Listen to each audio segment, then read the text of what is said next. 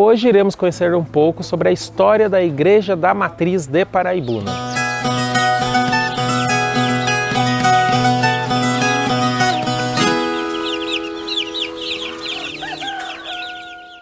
Estamos na Igreja Matriz de Santo Antônio de Paraibuna, uma importante igreja e sendo a maior de todas elas, situada no centro de Paraibuna. Ela está aqui na Praça da Matriz, em frente ao Coreto e ao lado dos grandes casarões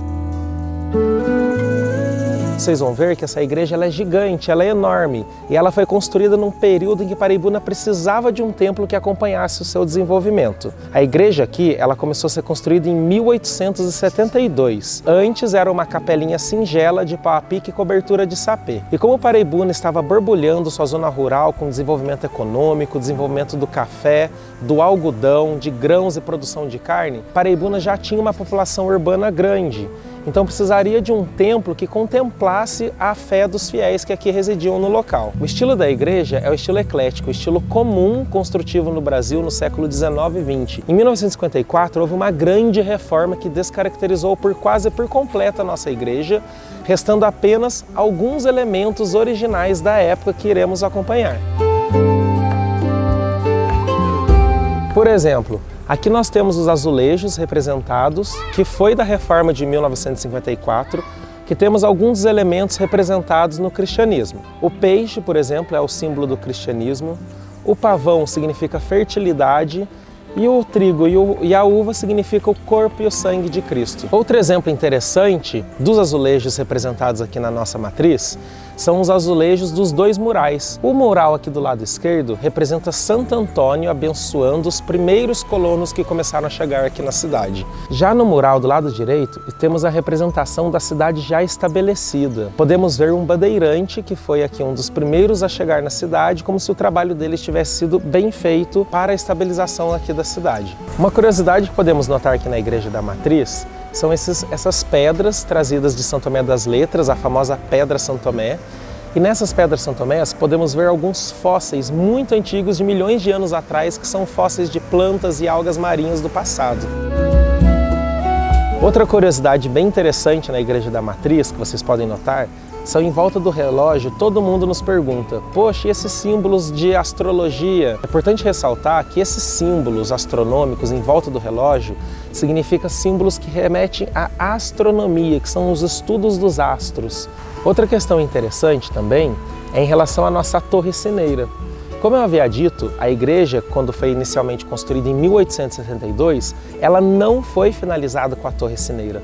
Somente em 1904 para 1905, a torre cineira da Igreja Matriz de Santo Antônio foi inaugurada. E assim então temos uma igreja comum, igual todas no Brasil, que era com a torre cineira. Na torre cineira, nós temos o famoso badalar de sinos, como era feito antigamente em todas as cidades. As pessoas daqui elas se orientavam através dos badalos do sino. E como não é diferente, em Paraibuna tem os seus próprios repiques e badalos de sino. Como é o caso da Dona Sofia, ela que viveu mais de 100 anos fazendo diversos repiques entoados de sinos que encantavam a cidade. Uma questão interessante que todos nós sabemos que Santo Antônio é um santo casamenteiro e em Paraibuna não é diferente sobre isso. Temos lendas e tradições que fazem que, que um santo nos dê sorte para casar.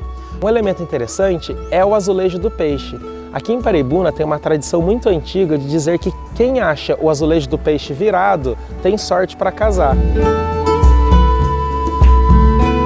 A Igreja da Matriz foi uma reunião de fazendeiros e pessoas da época que tinham dinheiro que se juntaram para construir esse importante templo aqui na cidade. A inauguração da igreja se deu dia 7 de setembro de 1886 uma das únicas características originais que ainda temos da igreja do século XIX, aqui da matriz, é a pia batismal.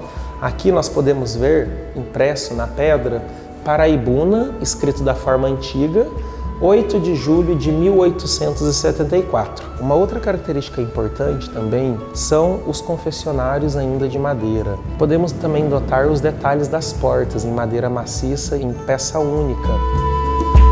As portas aqui da Igreja da Matriz, principalmente a porta da entrada, ainda são originais da época, do século XIX grandes características e belezas da nossa igreja matriz são as lindas pinturas que vieram com a reforma de 1954. Tivemos essas pinturas de Álvaro Pereira.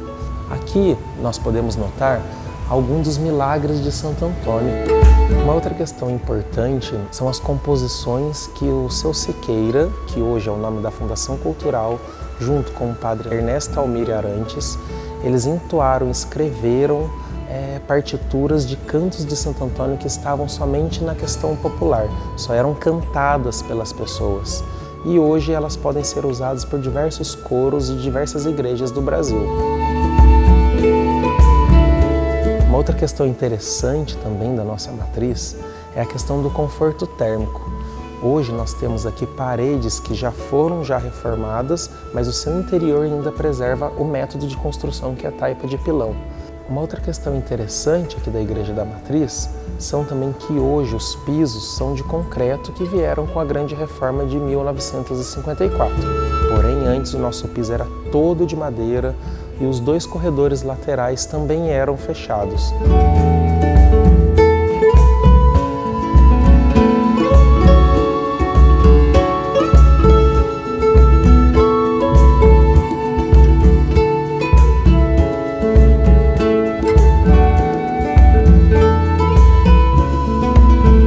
Para mais informações sobre o que está acontecendo na cidade, você pode acessar o site da Prefeitura Municipal e também da Fundação Cultural de Paraibuna.